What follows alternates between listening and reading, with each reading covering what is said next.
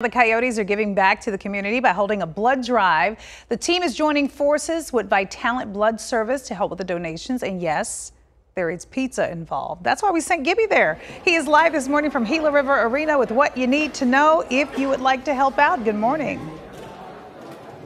Good morning. Yeah, you know what? They're looking for about 700 donors. You know, with COVID 19, the blood supply is really low. They want to help rebuild it. So the Coyotes said, you know what?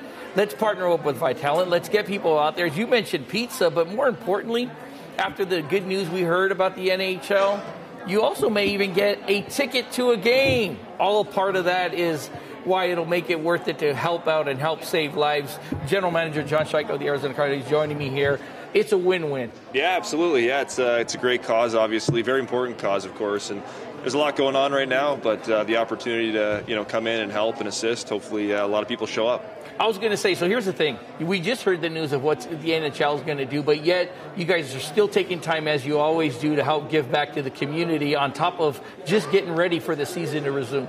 Yeah, obviously uh, we're you know first and foremost a hockey team, but a big part of that for us as an organization is, is our, our you know work in the community, and um, you know we're really a community asset, and anything we can do uh, at this time, obviously they need us more than ever, and uh, you know they've been so good to us for so many years, coming out and supporting us. Like I said, in a time of need, anything we can do, we're happy to do it. And here's the thing. I mean, you're you're in line. You're about to give blood. Coach Tocchet's already given yeah, blood yeah. already. So that yeah. not only as an organization are you holding a blood drive, but you guys are also in line donating and doing your part as well. Yeah, like I said, this is uh, this is our home. Um, you know, my daughter was born here. My wife and I live here now for a number of years. We love it, and um, you know, everyone's in some some amount of distress. But uh, you know, look, I think we're also turning the corner here. We're here giving blood, helping out, and the ice is getting built in the background. So starting to get back to some normalcy, which is great for everyone. And like I said, any, any little part that we can do, um, we're happy to do so. Yetta had mentioned some pizza. I mentioned the game. As I mentioned, you're saving a life by giving blood, but at the same time, there's some reward on the back end of it as well.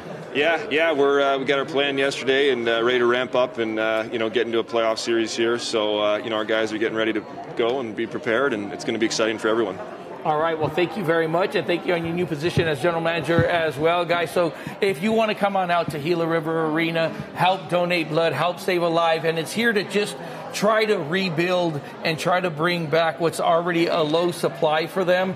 And it's one of those things where uh, Sue here with Vitalant Sue, uh, it's how important is it to rebuild the supply knowing that it's this low?